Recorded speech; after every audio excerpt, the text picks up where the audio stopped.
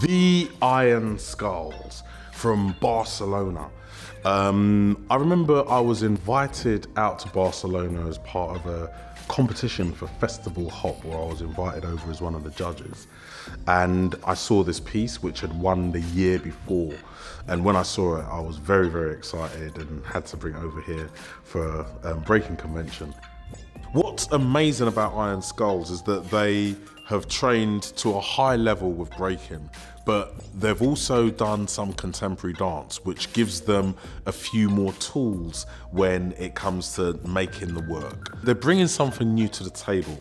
It's definitely an Iron Skulls style of movement. It's very rich and they really embody all of the gestures that they use. One of the reasons why I programmed Sinestesia was because it did stand a little bit outside our current understanding of what hip hop dance theatre is.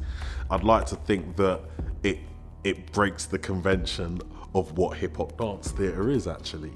Um, they definitely offer something new and they're very proud of what they've brought to the table.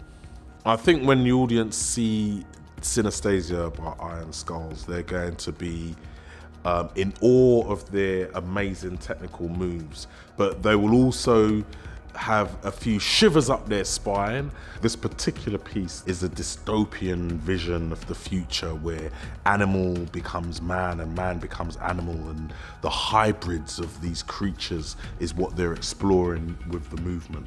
It's um, quite chilling at times, but very, very exciting. And there's moments where there's interaction with the audience. So be careful.